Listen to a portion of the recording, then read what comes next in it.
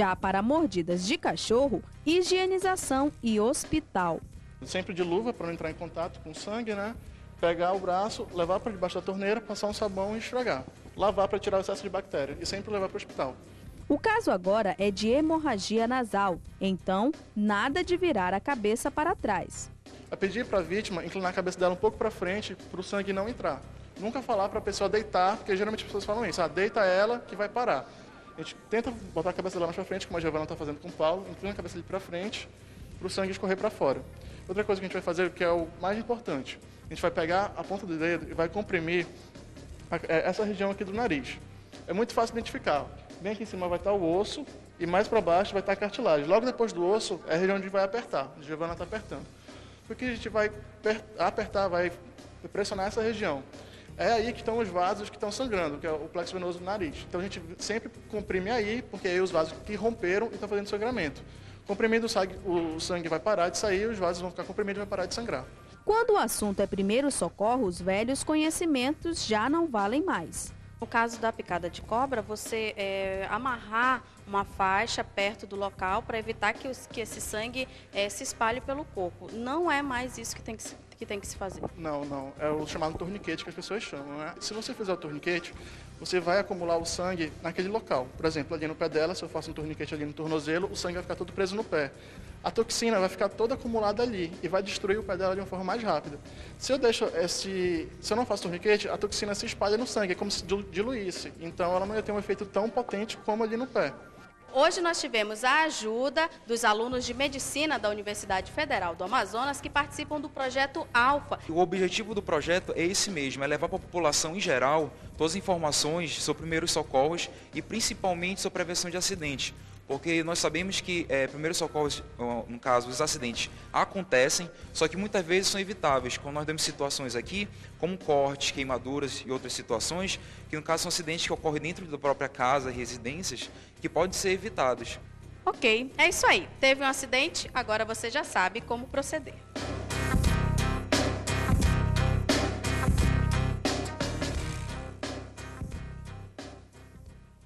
É, realmente, com essas informações, nós podemos evitar o pior.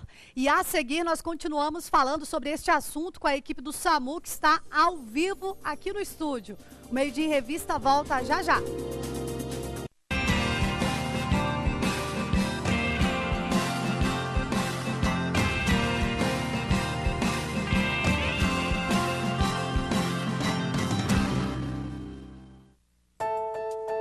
Muita gente já descobriu, produzir borracha voltou a ser uma boa opção. Não é, seu Adolfo? Com certeza. Vamos lá? Vamos mesmo. O governo aumentou em 30% o auxílio pago ao seringueiro, financiou mais uma usina de beneficiamento da borracha e incentivou a implantação de uma nova fábrica de pneus. Antes trabalhava meio arriscado, né? Hoje não. Hoje nós temos nossa produção melhorada e nós temos um preço bom e temos para quem vender. O governo ajuda a criar uma nova cadeia produtiva para a borracha. Do látex ao pneu, tudo produzido dentro do estado. Nós estamos muito otimistas. Existe um mercado muito grande para crescermos e nós temos certeza que vamos colaborar na geração de emprego e renda para a região. E onde está o comprador? Aqui mesmo, nas indústrias de motos e bicicletas da Zona Franca de Manaus. Nova fábrica de pneus, nova usina, valorização do seringueiro. Governo do Amazonas, trabalhando para criar oportunidades.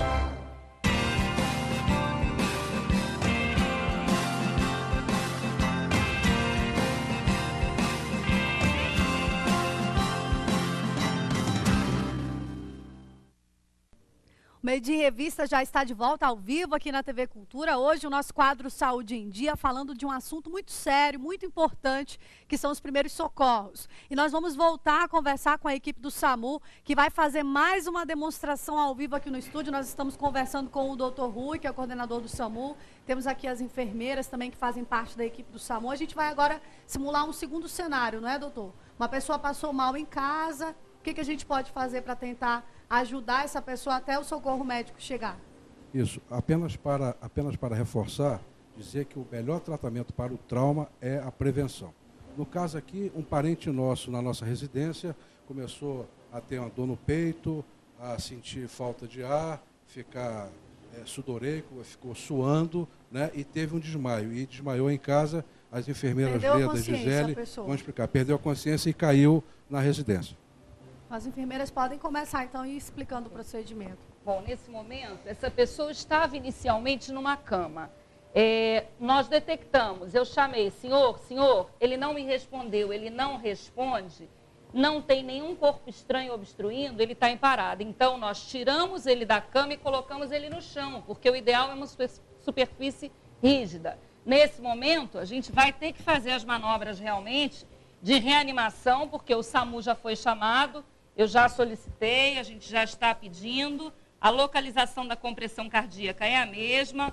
Os braços, região, calcanhar da mão, braços esticados, fazendo no mínimo 100 compressões por minuto.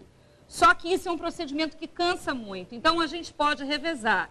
Eu estou mantendo aqui a boca aberta para melhorar a passagem de ar, já que a gente não faz mais ventilação artificial boca a boca. Então, quando ela completou as 100 compressões, um minuto, dois minutos, 200, eu vou soltar e vou me posicionar e continuar. Entre o ombro e o umbigo, eu vou continuar 100 compressões, um minuto, mais 100 compressões, dois minutos, enquanto ela mantém essa via aérea aberta. Profundidade de 5 centímetros, bem no centro do tórax. Até que essa pessoa retorne, ou então até que a gente decida realmente levá-la para um hospital. Mas o Doutor Rui. importante é manter superfície rígida, a proximidade, os braços esticados, nunca fazendo isso, sempre fazendo esse movimento aqui, para que a gente consiga deprimir pelo menos 5 centímetros de profundidade. Enfermeira, só reforçando que aquele procedimento boca a boca conhecido não se faz mais Não, isso. não, não tem Correto é apenas a efetividade. massagem cardíaca. O novo é? protocolo que passou a prevalecer a partir desse ano só determina nessas situações para serem executadas por pessoas, por terceiros que não profissionais, com recursos, com EPI, somente compressão. Se nós estivéssemos na ambulância, nós teríamos aqui equipamentos próprios. Aí nós faríamos ventilação. Seriam 30 compressões e duas ventilações. Mas, Mas em leigo, não. casa basta a massagem. Basta a compressão cardíaca dessa forma, nessa profundidade de 5 centímetros e com no mínimo 100 vezes por minuto. Obrigada pela presença Nada, de vocês. é um. Parabéns pelo trabalho. A gente agradece. Obrigada Sabe, a também. gente fica mais tranquilo sabendo que tem profissionais como vocês, não é, doutor Rui? Só para reforçar o telefone do SAMU. E se o senhor quiser também deixar suas considerações finais. Ok, muito obrigado pela oportunidade. Lembrar que o SAMU ele segue eh, protocolos do Ministério da Saúde. Então é importante que a pessoa, ao ligar para o 92, eh, dê o máximo de dados possível do paciente, assim como a localização. E lembrar que existem regras para o atendimento. Nós não temos como atender a todos os casos, sob pena de deixar de atender casos urgentes para atender casos que poderiam perfeitamente serem removidos por meios próprios. Muito Tá obrigado. certo, doutor. Mais uma vez, obrigada. Parabéns pelo trabalho de vocês. E o assunto agora é economia. Nos últimos seis meses, o Amazonas apresentou um déficit na arrecadação líquida do FGTS. O Estado fechou o primeiro semestre de 2011 com um saldo negativo de R$ 629.964,48. Mesmo assim, o superintendente regional do trabalho explica que não necessariamente essa queda pode representar um alto nível de desemprego. Tem várias itens que tem que ser analisado. Uma delas pode ser demissões de vários trabalhadores que tiveram seu direito e sacaram o FGTS. Outras são as razões de doença, pessoas portadoras de HIV, pessoas que morreram, pessoas que tiveram câncer, pessoas que aplicaram na casa própria. Então essas são as razões. Não quer dizer que houve também um grande número de demissões. O Estado vem crescendo a geração de emprego, isso é um fator positivo, mas pela excepcionalidade houve um saque maior, que é essas relações que tem na lei que ampara o trabalhador. E ainda a notícia: o Superior Tribunal de Justiça determinou que 50% dos servidores técnico-administrativos das universidades federais que estão em greve retornem ao trabalho. A decisão foi encaminhada às universidades na sexta-feira. A UFAM, a Universidade Federal do Amazonas, confirmou que já recebeu essa determinação do STJ, mas ainda decidirá como ela será cumprida. A liminar estabelece multa diária de 100 mil reais para os sindicatos e federações que não cumprirem esta norma. A seguir, um clima mais leve toma conta da sua revista eletrônica. Nós vamos saber detalhes do Festival da Cidade do Folclore. Teremos dança ao vivo com o grupo de Cacetinho do IFAM. É daqui a pouco.